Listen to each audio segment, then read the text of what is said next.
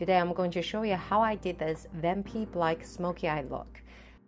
First, I used MAC Studio Fix foundation to cover only my eye area. Next, I used the NYX Slide On Black Liner to frame my eyes. Then I used Urban Decay Born to Run eyeshadow palette Color Jet on my eyelid up to the crease line and the bottom of the eyes to smudge out the black liner. Then I used brownish color called Good As Gone from the palette to blend out the edge of the black shadow. Then use a clean blending brush to blend out the edges of the brown eyeshadow. Apply the same brownish eyeshadow to the bottom of the eyes and blend it out. Now, Add another layer of the black eyeliner to give more intensity. Then I use a shimmery black eyeshadow from Too Faced eyeshadow palette to blend out the black liner.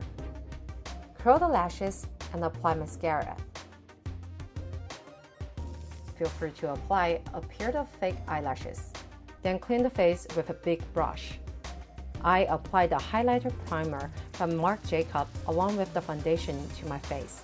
Next, I'll apply the liquid concealer from NYX to under my eyes, nose, forehead, top of the lips, and the chin.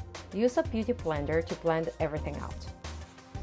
For contour, I use the Laura Mercier Cream Contour Palette to contour my cheeks, jaw lines, and the nose. I brushed out my eyebrows, then used Benefit Precisely Brow Pencil to draw in my brows. Then I used a clean blending brush to blend out the beginning of the brows to make them look more natural.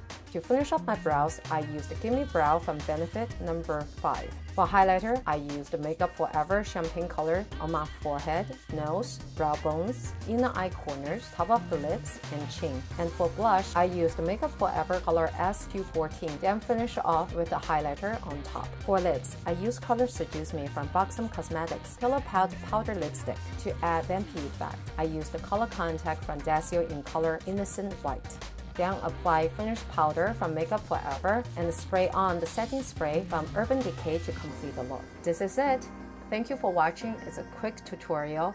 Feel free to leave any questions in the comments and I will answer them. Have a great day. Bye for now.